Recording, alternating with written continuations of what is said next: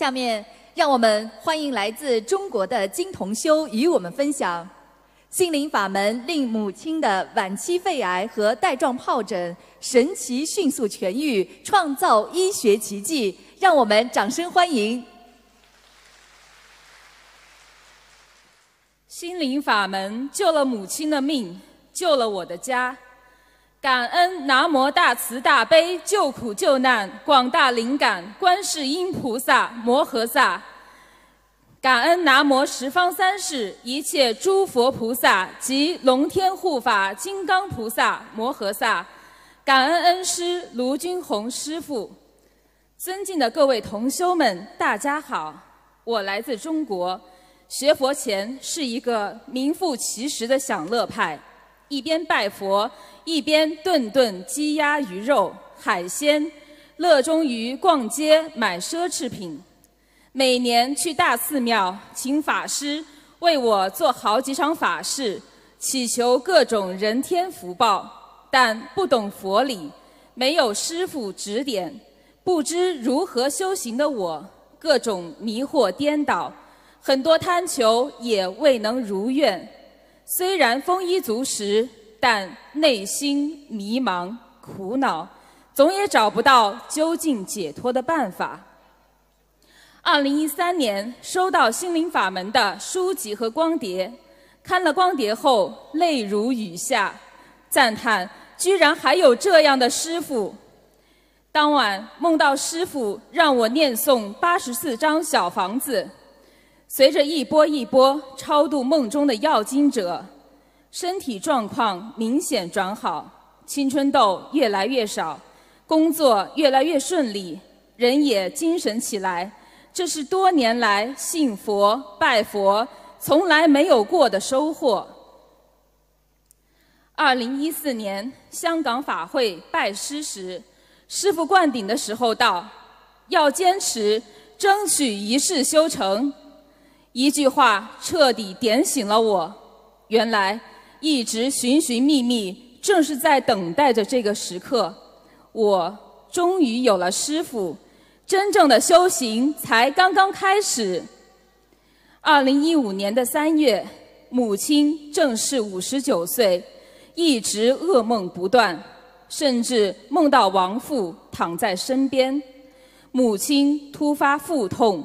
昏厥，倒在床上，去医院检查，胃癌四期，淋巴有转移，胃三处穿孔，需要紧急输血，并马上安排手术。这一结果犹如晴天霹雳。母亲从我六岁开始守寡，从小对我宠爱有加，我不能没有她，没有她，我便成了孤儿。没有了家，我跪在佛台前，哭得泣不成声，哀求菩萨慈悲救救他。我和母亲当即发下大愿，我将修行以来三分之二的功德转给他，母女两人终生吃全素，我吃全素的功德转给他，终生戒杀，放生十万条鱼，念诵一千张小房子。当年完成，好了以后现身说法。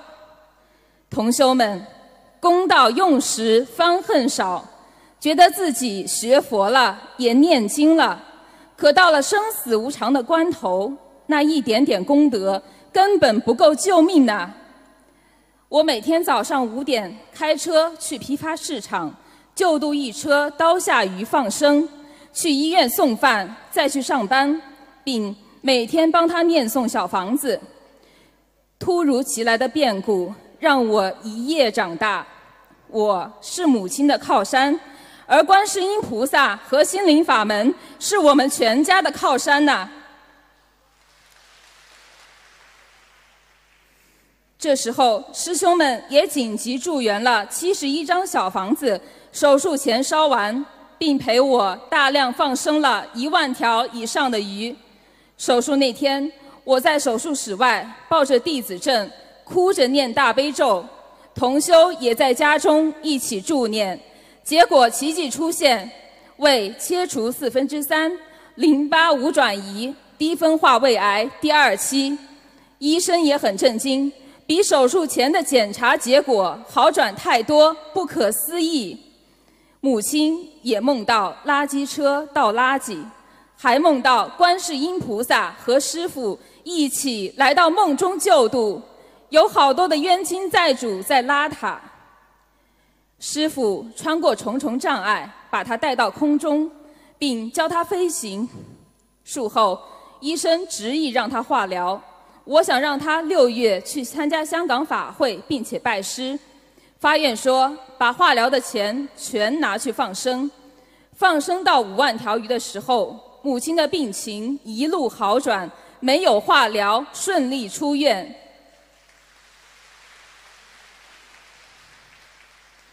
到香港法会成功拜师，并且在法会现身说法。从发病到法会回来，短短三个月的时间，所有的检查指标全部恢复正常。直到今天，三年过去了，家里各种检查报告一答，全部显示癌症康复，全部恢复正常。二零一七年，母亲去主刀医生那里复查，医生看了她当年的检查报告，又听说她没有化疗，对她说：“你还查什么呢？好吃好喝就行了，查了让自己难受。”然而，十几项 CT、B 超、胃镜、血液检查全部正常，医生也大为震惊，说他很幸运。其实我们知道。没有心灵法门的三大法宝，母亲的癌症不可能神奇痊愈。虽然母亲已经康复，但是绝对不能有一丝懈怠。母亲这三年来一直坚持，每年至少放生一万条鱼，大量念诵小房子，坚持现身说法并度人，连续助缘参加法会，身体越来越好。二零一七年欧洲法会前，我突然梦到母亲的要经者需要三十三张小房子。醒后收到母亲发的图片，说腰上长了密密麻麻的疱疹，又疼又痒。医生说是带状疱疹，需要马上入院治疗。网上一查，带状疱疹俗称火龙缠腰，是一种很难治愈的疾病，一旦侵入神经根处，神经系统。将受到永久性、不可逆的破坏。来到巴黎参加法会，素不相识的法国同修听闻之后，自发的为我们结缘了很多小房子，还安排师兄带去看急诊。擦了几天的药不见好转，却在烧送三十三张小房子和擦了供菩萨的大杯水当天，神经性的疼痛神奇消失，疱疹明显缩小。又烧了二十八张小房子，疱疹全部结痂变深，大为好转。回国后，医生说是带状疱疹，不过已经好了，不需要再治疗。我和母亲深深明白，这也是业障所致。如果不是在法会一下子烧送六十一张小房子，十分难缠的带状疱疹是不可能在短短的几天内神奇康复。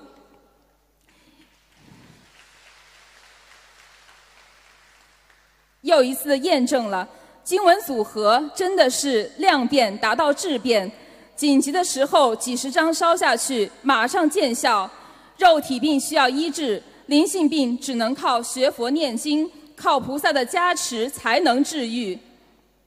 同修们，我母亲曾经身患那么凶险的绝症，都能够奇迹般的迅速痊愈。全靠菩萨的加持和同修家人们的一路保驾护航，学佛让我的人生不再迷茫，灵魂有了方向。每一次弘法，看到人间的苦难，就想起师父说的，要让全世界所有的有缘众生都会念大悲咒心经，破迷开悟，离苦得乐。会明白这句话承载的就是菩萨的慈悲大爱，一定要紧跟师傅的步伐，念经还债，修心修行，积累功德。因为当关键的时候、紧要的关头来临时，只有自身的功德才能救命呐！感恩南无大慈大悲救苦救难广大灵感观世音菩萨摩诃萨，感恩大慈大悲卢军宏台长，感恩各位法师们、佛友们、义工们。